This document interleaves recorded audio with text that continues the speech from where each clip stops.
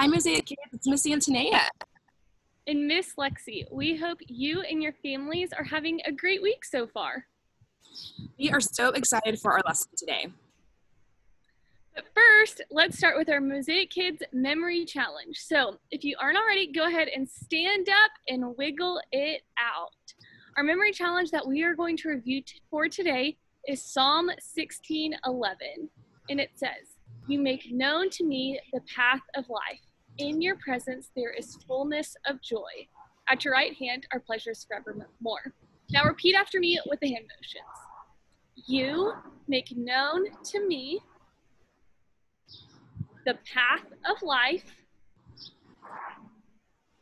In your presence, there is fullness of joy. At your right hand are pleasures forevermore. Psalm 16 colon 11. Good job, guys. Awesome. Well, now um, we are going to move into our MK Q&A. And you guys know what this is um, by now. MK Q&A is memorizing truths about who God is in the form of question and answer. And so we know that we do this in other ways. For example, what are the names of Andy's two favorite toys? Buzz Lightyear and Woody. What does Lightning McQueen want to win in Cars? The Piston Cup. Who helps find Nemo in Finding Nemo? His father Marlin and their friend Dory. So we are going to do something similar, except for all of our questions and answers will help us learn more about God and how he is good, great, glorious, and gracious. Are you ready to get started? Awesome. But first, we are going to play a game. And we are going to play Captain's Orders, which y'all have all played by now, but I will just Yeah. kind of give us a review of the command. So if I say attention, you're going to say aye aye captain and put your hand by your forehead. Good job. And then if I and then if I say a big waves coming, you're going to run to the back or the side of the room. Big waves coming. Yep, good job, Antonea. And then if I say scrub the deck, you are going to get on the floor and pretend like you're scrubbing the deck. And then if lastly, if I say raise the sails, you're going to pretend to pull on a rope and raise the sails. Okay, are y'all ready? Yes. Okay, ready? Big waves are coming. Attention, Aye, aye, Captain. scrub the deck. Raise the sails. Big waves are coming. Scrub the deck. Attention, Aye, aye, Captain. raise the sails. Attention, Aye, aye, Captain. scrub the deck. Big waves are coming.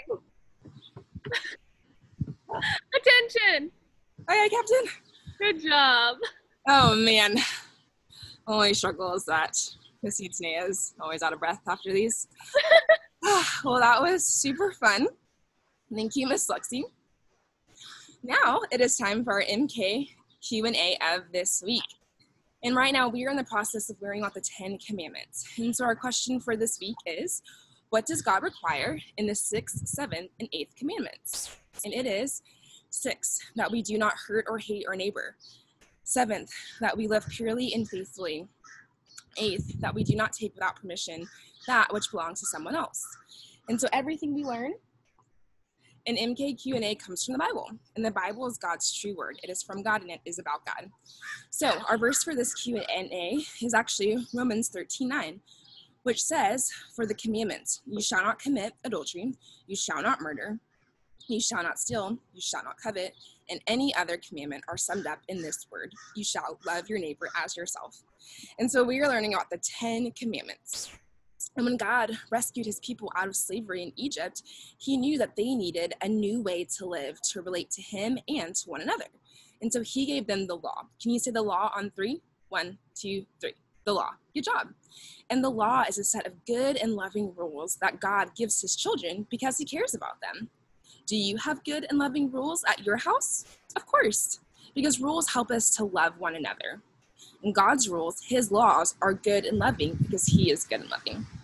And so God's law, God's good and loving rules are about love, they're about worship, and they're also about love for neighbor. So, what does God require in the sixth, seventh, and eighth commandments? Well, six, that we do not hurt or hate our neighbor. So, God made everyone, and so we should see each person as made in the image of God. Can you say image of God on three? One, two, three. Image of God. Good job. So, just like you are so precious to God, other people are precious to God too. So, we should be kind with our words and our actions and our thoughts out of respect for God, but also love for our neighbor. And then, seventh, that we live purely and faithfully. So, when a man and a woman get married, they make a special promise to God and to each other. And so, God knows it is best that these promises are kept both to Him and to each other. But even when you are not married, everyone is meant to love their neighbor by respecting the very special promises that a man and a woman make to each other when they get married. We have a fun airplane going over. And then A, that we do not take without permission that which belongs to someone else. So this one is super, super important. Do other people sometimes have something that you want? Yeah, it happens all the time. But God knows what's best for us. And really, everything that anyone has comes from God. And so, you know what is what's way better than taking something from someone? It's celebrating with them. We know that everything comes from God, and so we should celebrate that God has been so kind to give them whatever this gift is. But also, do you ever have something that other people want? Maybe your friends or your siblings? Yeah, that happens too. In that case, you know what we can do? We can share because everything we have been given is really God's, we can celebrate when our friends or siblings or someone at the park has something that we desire. And when we have something that others might desire, we can also choose to share. So before we wrap up, let's remember one of our four foundational truths, and that is God is glorious. He satisfies his people. Can you do the motions with me on three? One, two, three. God is glorious. He satisfies his people. So God is what is best, and only God can fully satisfy us. God gives us good gifts that we can enjoy. But just like our emotions roll up to God, our gratitude for his good gifts should also roll up to God. When we start hurting other people or taking what's not ours or breaking promises, it means that we're not loving other people well. And God wants us to love others because He made everyone. And He knows that hurting others won't truly satisfy us, that breaking promises won't truly satisfy us, and that taking what is not ours won't fully satisfy us either.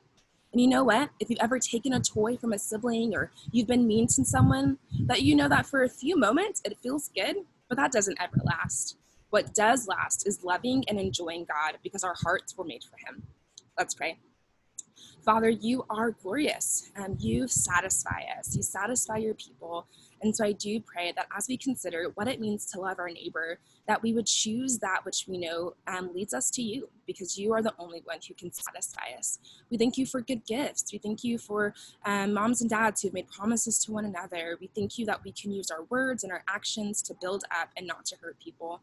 Would you help us to do those things and to encourage um, and be built up in you? For all these things, in Jesus' name, amen. Okay, now it's time for some review questions to see how well we were listening. After I ask the question, go ahead and pause the video and shout out the answer. Then unpause to hear the answer. Question one What is the sixth commandment? To not hurt or hate your neighbor. Question two What is the seventh commandment?